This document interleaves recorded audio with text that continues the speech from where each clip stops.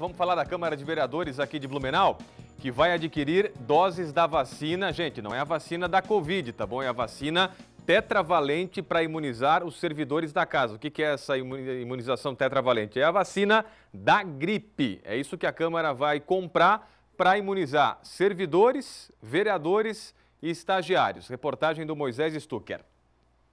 A contratação das doses está na fase de pesquisa de preços. E a Câmara faz um levantamento do número de servidores interessados em receber a imunização.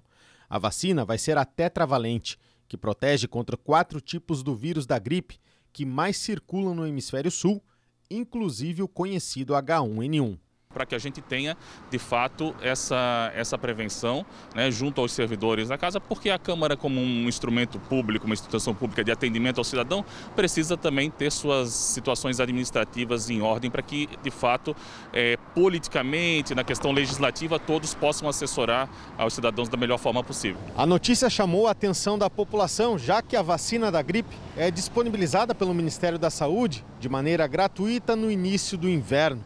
Mas a direção da Câmara de Vereadores aqui de Blumenau disse que essa é uma prática adotada pela casa todos os anos e não tem somente ligação com a pandemia do coronavírus. Tudo que nós tivermos é, ao redor, que nós pudermos prevenir, para que faça com que não aconteça uh, uma ocupação, uma internação por qualquer outro motivo, se faz é, importante e prudente no momento. Segundo a Câmara, o investimento na compra das vacinas é de aproximadamente 10 mil reais. A previsão é que 200 servidores estejam interessados em receber a imunização.